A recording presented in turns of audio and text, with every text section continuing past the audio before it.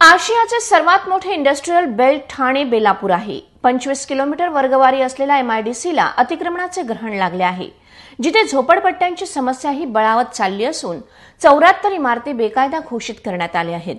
या ठिकाणी साडेचार हजार कारखाने आहेत तर लाखोंच्या संख्येत लोक येथे बेकायदेशीरपणे वास्तव्यास आहेत. त्यामुळे कारखानदारांना मोठी समस्या भेडसावत आहे. अतिक्रमण होने वजह से बेसिक प्रॉब्लम्स एक तो सैनिटेशन का होता है सिक्योरिटी का होता है।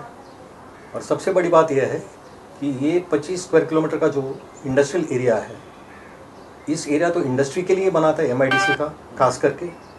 ये एरिया में अगर समझो कोई अतिक्रमण हुआ चौपटपट्टी हुआ तो इसका मतलब है इंडस्ट्री के ऊपर असर इसलिए पड़ेगा क्योंकि कल कोई उठ के बोलेंगे कि आवाज़ बहुत ज़्यादा है, या तो प्रदूषण है।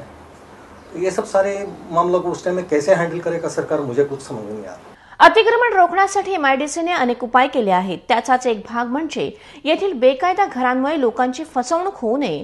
यासाठी इमारतींबाहेर सावधानतेचे आवाहन करणारे फलक लावले गेले आहेत.